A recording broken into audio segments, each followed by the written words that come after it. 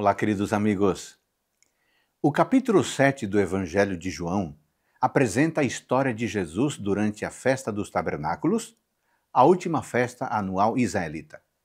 Nessa festa, Jesus ensina que aqueles que têm sede devem vir até ele e beber.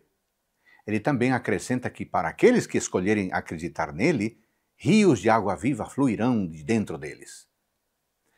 Conhecida por ser celebrada durante sete dias, a festa dos tabernáculos celebrava a peregrinação do povo de Israel pelo deserto após o êxodo do Egito.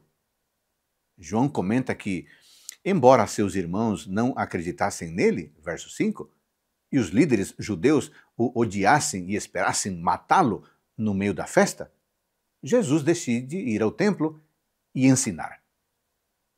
Os judeus não entendiam Jesus e questionavam seus ensinamentos. Eles queriam matá-lo porque ele curou um homem no sábado. Então, Jesus os aponta como guardadores hipócritas da lei, honrando-a com suas palavras, mas não com suas ações. Isso levou o povo a questionar se Jesus era o Cristo, mas eles não queriam aceitar a ideia de que o Messias prometido fosse de Nazaré. Mais uma vez, Jesus diz que é o enviado de Deus e menciona que só ficará com eles por mais algum tempo até voltar para aquele que o enviou, e quando isso acontecer, eles não o encontrarão mais. A festa dos tabernáculos relembrava um dos acontecimentos que o povo de Israel vivenciou durante sua peregrinação no deserto. O milagre de Deus ao fazer fluir água da rocha em Horebe. Jesus usa essa imagem para se referir a si mesmo como o Messias prometido. Em pé, ele menciona que se alguém tem sede, que venha a mim e beba. E acrescenta: quem crê em mim, como diz a Escritura, rios de água viva correrão do seu ventre.